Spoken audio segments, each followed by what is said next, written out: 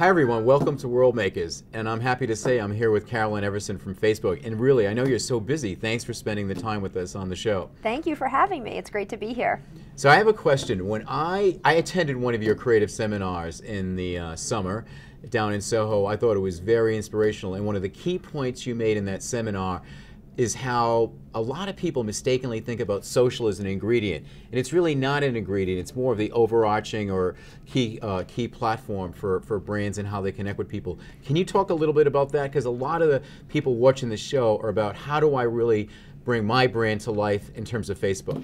Absolutely. So what we find is that marketers tend to, if they're in the early stages of understanding Facebook, they'll say to their agency or to their team, I need a little Facebook. So in, in terms of I'll come up with a big idea, I'll do the typical 30 second spot, the print campaign, and by the way, give me a little Facebook. And that is actually not the way to think about it at all. I, I like to say that when they say that, they think of it as the salt on the french fry. Mm. As a matter of fact, really, Facebook has to be baked in from the very, very beginning. And it's a platform that can not only help the brand transform in the social environment, but if done correctly, the TV, the print, the outdoor, every other form of media should be social in general and should be amplified and work that much harder. So you work with so many brands. What what brands are out there working with Facebook that you think are really inspirational for, for other marketers? American Express has done an incredible job. They don't look at Facebook as just a marketing tool. They actually look at Facebook as transforming their business. We were just talking to Dave Manna from Electronic Mm -hmm. and one of mm-hmm. the points he made is about brands respect, respecting the user experience which is more or less what you're saying about Facebook. It's about not uh, hijacking something in a negative way, but really being respectful of the role of the consumer in crafting that content. Exactly. Our head of creative, Mark D'Arcy, has a great line. He has been trained in the creative community since early in his career, and he said, as creatives, we've all been taught to disrupt.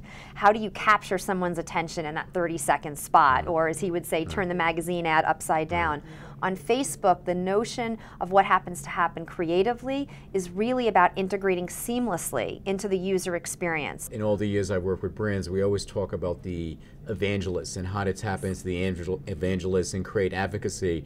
Well, that's always been somewhat of an intellectual concept, but now when you describe the actual math and social science behind Facebook, it, it's it's possible. You can really do that not just locally, but nationally, globally, you know, whatever the scope is geographically. That's right. We give brands the opportunity to get their message, to instigate that message, that conversation.